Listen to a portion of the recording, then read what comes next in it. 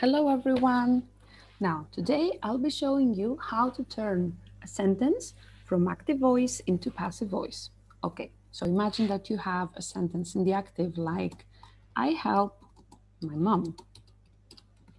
Now, first of all, we need to see, uh, we need to identify the parts of the sentence. So help is the verb. Okay, this verb is in simple present tense, verb. Okay, the I word is the subject. Who does the action? Okay, that's the subject. Now, my mom is the object of the sentence. Okay. Now, who receives the action, let's say. Now, in order to turn this active sentence into passive, what I do is I follow some specific steps. So the first thing that I have to do in order to turn it from active into passive is to front the object and make it subject. Oops. I need to form to front the object and make it subject. Now, the second thing is um, use the verb be in the tense of the actual verb of the sentence. So the, the be verb will take the tense of the sentence. Okay.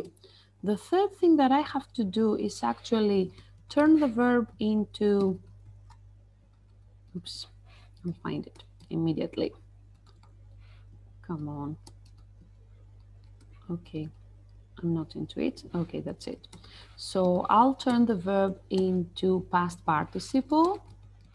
Okay. And then what's next, in case I want to mention who did the action, I will have to use the agent. Okay, the agent is by and the person. So let's see that uh, from theory to practice. So we say I help my mom. The first thing that we said we have to do is front the object.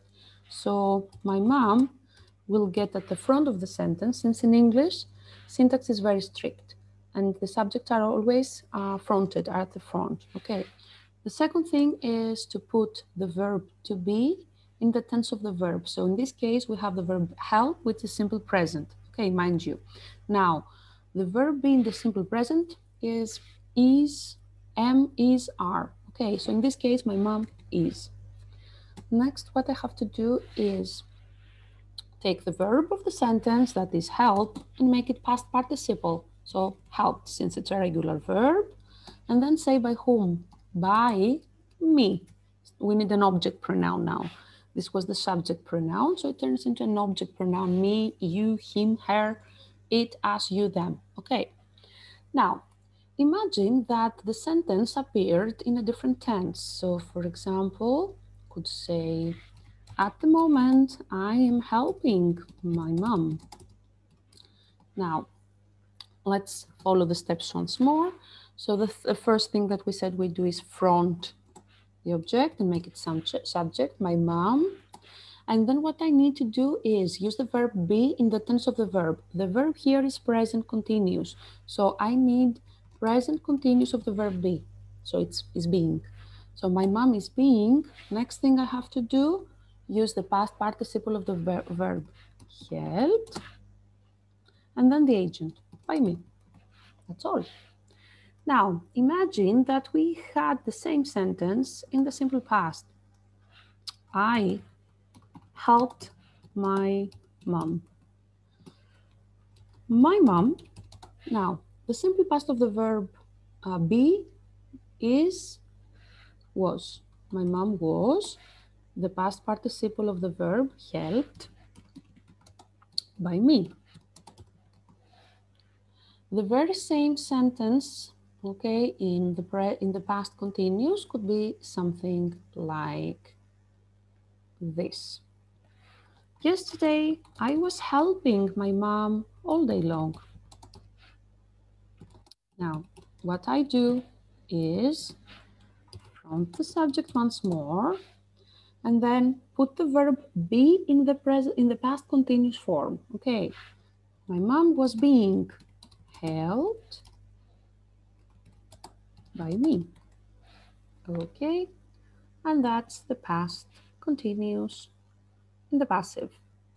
Okay, I'll take this here. Now imagine that we have the present perfect tense. I have helped her here. Okay, I'll make it a little bit different. Now what I have to do is front the object. Now the object pronoun her will become subject. So it's she is, no, she has, it's present perfect of the verb be, she has been. The past participle of the verb help, helped by me. Okay, if I had past perfect, I had helped my mom, I had helped her, it would become she had been helped by me. Okay, I will help her.